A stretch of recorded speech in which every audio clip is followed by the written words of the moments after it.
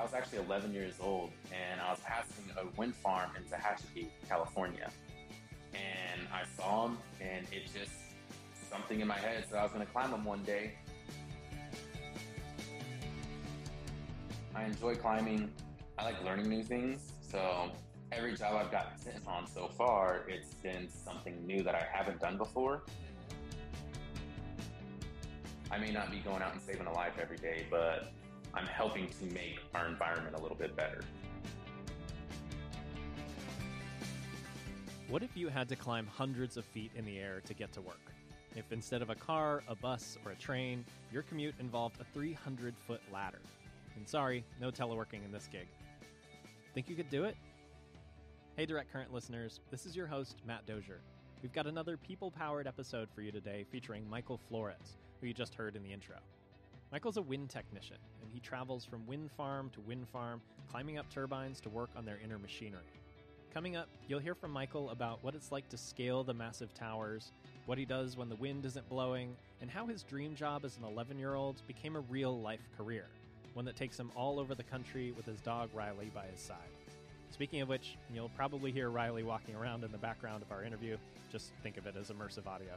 All that and more in just a moment.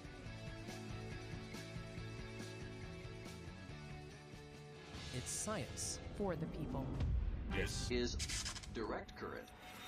My name is Michael Flores. I'm currently in Bismarck, North Dakota, working on a wind farm in Linton, North Dakota. My job title, I'm a traveling tech, which is basically I climb up wind turbines and do anything from general maintenances to gen alignments, main bearing retrofits, working inside the hub. So for people who don't know, that circular part you see on the front that's holding the blades that turn, that's the hub. We get in those and do maintenance in those too. Nice. Uh, tell me a little about yourself. So, where you live, family, kids, uh, where you're from originally. So originally I'm from Bakersfield, California. I grew up in foster care my entire life. So I don't really have any family. I do consider my foster family more family than my biological family. I do keep in contact with some of my biological uncles and my younger brother, who was adopted by my foster family so that he could stay with us. Joined the military. They ended up sending me down to Kansas, deployed twice with them, and got out and went to school for wind energy. And so never left Kansas. But now I travel. So Now you leave Kansas all the time. yeah, I haven't been back to Kansas in eight months. Really? So, okay, what's what's that like? So you're a traveling tech, you said. So you're on the go around the country. So where do you stay? You know, how often are you moving from place to place? So it just really depends on the job that you're doing. I mean, sometimes our company will send someone on a week long job. I was on a job in Douglas, Wyoming, and that was a four month job that I was there. Then, I mean, we went to Evanston, Wyoming, and we were in Evanston, Wyoming for maybe three weeks. And then I've been in North Dakota now for almost a month, and we still probably have another two months worth of work here. Maybe more, maybe a little less, depending on how the weather decides to play out with us. But other than that, places I stay is hotels, Airbnbs. It really just depends. I mean, I was in Colorado and I stayed in a cabin. So whatever we find the cheapest, best place, we pretty much live there. Right now, I'm in a really awesome Airbnb. So you talked a little bit about your work. How do you explain it when you know you're talking to somebody who doesn't know a whole lot about wind turbines? What you're actually going and, and doing? So it's it's honestly kind of hard to explain because a lot of people don't know what a hub is and nacelle is. I guess the easiest way for me to say it is I'm basically a car mechanic except up in a wind turbine. I think that's the easiest way anyone could ever explain it, unless you're talking to another wind tech. Probably the most common question we get asked is how you get up them, which most people still don't know. You climb a ladder up them. Some have lifts, but for a majority of turbines, you're climbing them. Every tower is a little bit different height. So, I mean, some you might be climbing 300 feet, others you might be climbing 250 feet, but it's just a ladder that goes straight up. Obviously, it's not the kind of career for somebody with uh, fear of heights. Uh, do you have any issues with that? I actually love climbing. I love heights in general. Uh, it does suck having to climb some days. I mean, some days you wake up and you know you're just not feeling it.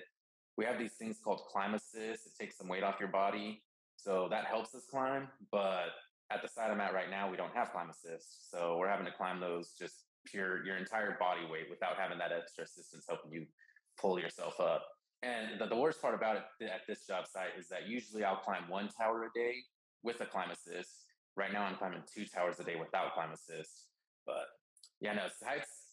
I don't think they're scary. I mean, there's times where we have to go from the nacelle to the hub, and you actually have to climb over the hub, depending on if it's a front entry hub or a rear entry hub. So we're actually sometimes we're having to crawl across the hub to get inside the blades. So if you're scared of heights, it's not for you. Not at all. On this job, while you're climbing towers twice a day, how much how much of your day are you spending climbing at this point? When I first started climbing, it was taking me about 15 minutes with the climb assist since I've been at this site and had the free climb, it takes me about seven minutes without one now. you get used to it pretty easy, especially doing it every day. It's a good workout regimen. Yeah. If I didn't like food as much as I did, I'd be a lot thinner. uh, so let, us talk about a typical day on the job for you, if there is such a thing. Describe the kind of work that you're going to do on an average day. So that's day by day. So, like the last job I was on, we were doing 10% maintenances, which is torquing bolts 10%. Um, you do the tower sections, you go do the hub domain, you go into the hub where the blades are, and you have to torque the blade bolts down. That was 20% on that. But then you're greasing the main bearing, you're greasing the yaw deck, you're greasing uh, the generator, you're checking brushes, making sure that brushes are appropriate length so they don't have to go switch them out. Right now, I'm on a job where we're doing main bearing retrofits. So what we're doing is we're cleaning out the entire main bearing. We're putting some pre-grease in, pushing out all the old grease, and then we're cleaning out all the old grease in there. Then we're checking to make sure that inside the main bearing is all good. There's no damage to it or anything. Then we're sticking a seal on it, closing it back up, and then we're pumping in new grease so that the new grease is in there running on it. Okay, so so you're you're tightening bolts, you're changing out grease. You know, like there's a lot of stuff here that does sound awfully uh, auto mechanic like. Yeah, yeah, exactly. What um so the bearings, how how big are we talking? The entire main bearing is probably four feet tall. It's big. Takes two people to do it. So I have a partner with me. He's currently on a job, but it takes about five hours a tower to do, and we do about two a day, and that's wind permitting. But you'd be surprised once you get inside. They're actually really large inside.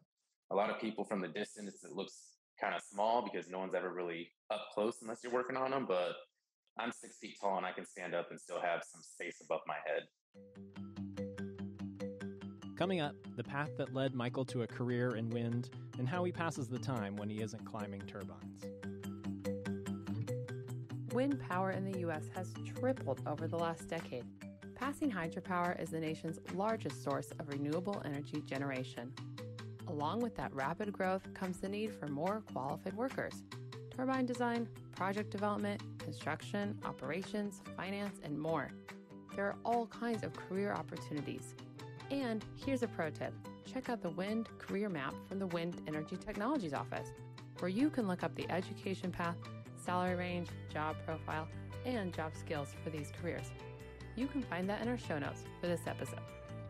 You're working, you said wind permitting. So the wind turbines are working when the wind is blowing. Are you working when the wind is not blowing then? No, we're still working when the wind is blowing. So for the main bearing, in order to clean it out properly, the wind has to be blowing so it can rotate the hub. The blades are rotating essentially. And when it's doing that, it's pushing out the old grease, making it so we can clean it. If it wasn't spinning, if it wasn't rotating, it wouldn't be pushing that grease out towards us. So if the winds aren't high enough, you can't do it because it's not spinning. And then if they're too high, you can't do it because you can't lock it out for our interview today, you you know had some downtime unexpectedly, right? Yeah, no, uh, there wasn't a single turbine running. It's just no wind, so no turbine was spinning. We climbed up there. We sat up there for about two two and a half hours. Called the site manager, let them know, hey, we can't do it. Sorry, that's nothing we can do today. That's uh, they call it standby time. Basically, it's just one of those things where it's not our fault we can't do the work. It's outside of our control. So they're not just to have us miss out on hours. They're going to still pay us because we're still showing up to work. We're still trying to do it. They give us a certain amount of hours. And it's just one of those things. We can't do work, so they're not going to fault us because it's not our fault. What do you do with your downtime while you're out on the road in these different locations? So I usually play with my dog. I bring her with me everywhere. Not supposed to have her in company vehicles for insurance purposes. So I usually fly her out to me unless I have a friend with a vehicle that's going to the same job site than me, then he just takes her in his private vehicle. But she's always with me. Other than that, I'm watching sports. Huge baseball fan, huge basketball fan. And if I'm not watching sports, I'm throwing the ball to her. And I love cooking, so I actually cook a lot. What's your dog's name?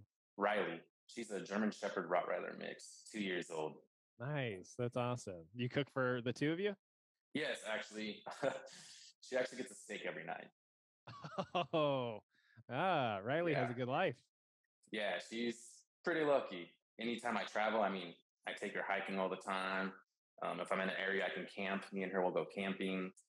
Uh, she loves water, so if, if I can find a lake, me and her will go to a lake, and she'll just run and play in it all day while I just sit there and read a book or fish, depending. Let's talk about how you got into this line of work. What made you want to get into wind?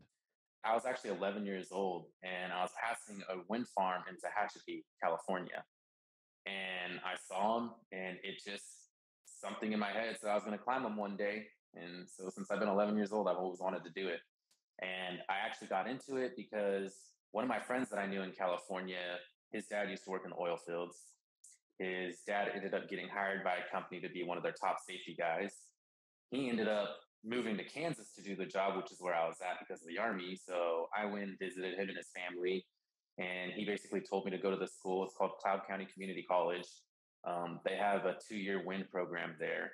So he told me about it. And he's just like, hey, if you go to this school, you know, you have a really, really good chance of getting hired on. And he knew I wanted to do it. So applied at the school, got in and did the two year degree, graduated. And I ended up transferring to a four year university because I wanted to continue my education. But then COVID hit. I'm not an online learner. I like to be in person. And I dropped out of school and applied for this company, and I'm in now. So What kind of education and training do you actually need to to get a career? So a lot of times, so you don't need this college degree. I went and got the two year degree because it was recommended by someone who was high up in safety. Well, for the most part, if you have some type of mechanical degree, you know how to use tools. A company, they're not going to pick you first over someone with a degree, but if the company needs enough help, they're going to take that chance and let you. And even then, when you first get hired on with a wind farm, you'll show up, you'll do some more paperwork at the office for like a week. Usually, they'll make you do a climb test beforehand before they ever ship you off just to make sure you're physical enough to get up the tower. And then, if you're going to work on a wind farm, they have their own facilities where they'll teach people for about a month how to work on the specific turbines that they're on. And then, once you pass all the tests at that facility, then they'll send you back to the wind farm that you're originally at. And that's when you'll start working. The more you learn, more you learn how to troubleshoot, you'll move up. But some things that do help is already having a CPR. You're definitely going to need CPR. OSHA 10 at the minimum. That's definitely a requirement. Actually, those are probably the two big ones right now is CPR and OSHA 10. And they'll pretty much teach you everything else you need to know. After the break, Michael's favorite things about working in wind and his insider tips for aspiring turbine techs. The next generation of the wind workforce is gearing up for the future with the help of DOE programs like the Collegiate Wind Competition. This annual event challenges teams of undergraduate students to design, build, and test prototype wind turbines. But there's much more to it than just engineering skills. Competitors take on complex, real world challenges as they develop plans for a wind farm, conduct outreach to their local communities and the media, and then present their work to a panel of wind energy experts. Search Collegiate Wind Competition to follow along in 2022. What do you like about your job? Money. That's a very good reason to keep in this job. Uh, besides money, it's I enjoy climbing. I like learning new things. So every job I've gotten sent on so far, it's been something new that I haven't done before. So I've gotten to learn a lot in a little bit amount of time. I know people that have been in the wind industry for 10 years that still don't know everything on a turbine because, you know, once they think they know everything, they'll come out with a new system or a new turbine or a bigger turbine that has more things you got to worry about. And so they'll have to learn something new. Uh, do you like the travel or is that a bit of a drag? I love to travel. I don't ever want to stay in the same spot for more than, you know, a year. So far, our company hasn't put me in the same spot. If I have to, obviously I will. It's a job, it's a career. But I just like the ability that when this job is done, I know that I'll be going to either a different state or a different city. They'll send you to different places. You get to see a bunch of different stuff. You get to experience different cultures, which I think is the best part. You mentioned thinking of this as a career. Do you think you'll be in wind energy for the long haul? Yes, I want to be in wind industry until I retire eventually. So I don't know how much longer my body will give me, but I mean, could be done at 55, could be done at 65 if I make it into the corporate world. But I don't want to leave wind industry. what is this job and this line of work meant for you, for your life?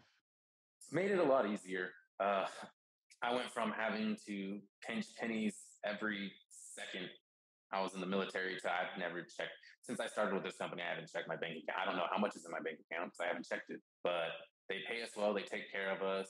They like to make sure you're safe. Our project manager will call us and make sure we're doing good. We have everything we need. It's not like most jobs where they just kind of you have to go ask them for stuff. And I think that's probably the best thing. I've gotten raises already with the company in under a year, and I didn't have to ask for it. They noticed I was working hard, and they gave it to me on their own. I didn't ask it. He just called me, and he's just like, "Hey, check your check this week." He's like, "You should be getting a raise." Uh, yeah, I don't think a lot of people can uh, say the same for their jobs. Yeah, no, it's nice. They understand and value hard work, and as long as you work hard for them, they're gonna they're gonna show you their appreciation. Do you ever take a step back and think about how your work is helping uh, advance clean energy, reduce carbon emissions, uh, fight climate change, and things like that? Uh, it's so hard talking to people about that type of thing because you never know where someone stands. I mean, you can be at a gas station and someone will see the logo on your truck and they'll start cussing you out because you know they're against wind energy and they don't care if it helps the environment or what. They heard something on the news how one killed a bird some time ago and wind turbines are now the worst things in the world. So it's, it's hard to think about those things when you're not at work. Uh, most times I try and separate work life from being at home. When I am up there, it's kind of awesome to see because you realize you're doing better for the environment and you're helping, even though it may not be the biggest help in the world, you know, like I'm not going out, I'm not a doctor helping patients every single day. It's still a step in the right direction. That's the way I see it. I may not be going out and saving a life every day, but I'm helping to make our environment a little bit better. Yeah. Yeah. What would you say to somebody who was interested in getting into a career in wind? I would honestly tell them to get into the construction side of it first. Uh, a lot of people, they don't realize what they're getting into. You have to be dedicated to the job. A lot of times, techs are on call uh, during the weekends. You'll work a full week, and then you might be on call, and you might be working all weekend too. And then you'll be working that next week again too. So, unless you're actually dedicated and want to do it, I'd recommend going into the construction side first because the construction side will show you that type of work. Um, it'll get your foot in the door. It'll show you a lot of different stuff. It will teach you about safety. And I say be dedicated because it'll take up your time. It has a lot of perks, great pay. They give you time, paid vacations, you know, things like that, raises, chances for promotions. But unless you're dedicated, I wouldn't do it. Anyone that's dedicated, I'd do it 100% but you got to be dedicated because I was at a site that was understaffed and they had their techs working weekends a lot. So it's one of those things. It wears your body out. Make sure you're in good shape to be climbing all the time. Michael Flores, thank you so much for joining me. No problem. Appreciate you. That's all for this episode of Direct Current. To learn more about wind energy careers and see photos from Michael's office up in the clouds, check out the episode page at energy.gov slash podcast. Thank you to my guest, Michael Flores, and to Neil Gengard from Tower Climbing Grease Monkeys for helping arrange the interview. Anne Marie Horowitz also contributed to this episode. And a special thanks to our intern, Michaela Tillery, for all of her assistance. We have lots more people powered stories coming your way, including a building energy analyst who's a first generation college graduate and daughter of immigrants, and the director of sustainability for a major American city. Subscribe to Direct Current on Apple Podcasts or wherever you get your podcasts to catch the rest of the series. Direct Current is produced by me, Matt Dozier. Sarah Harmon creates original artwork for all of our episodes. This is a production of the U.S. Department of Energy and published from our nation's capital in Washington, D.C. See you next time.